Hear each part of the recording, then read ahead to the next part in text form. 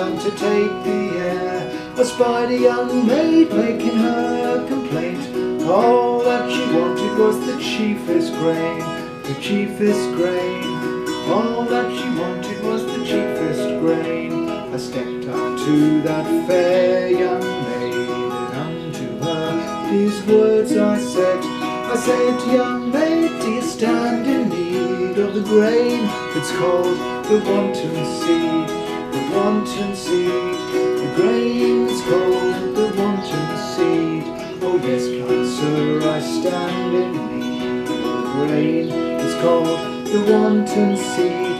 If you are the man that can do the deed, come and sow me meadow with the wanton seed, the wanton seed. Come and sow me meadow with the wanton seed. I sowed high and I sowed low.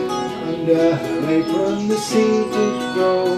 Grew up so neatly without any weed. She always commended the wanton seed, the wanton seed. She always commended the wanton seed. Forty long weeks there'd been past. She came back to me with a slender waist. She came back to me and how she did complain. She wanted chiefest grain, the chiefest grain. She wanted some more of my chiefest grain.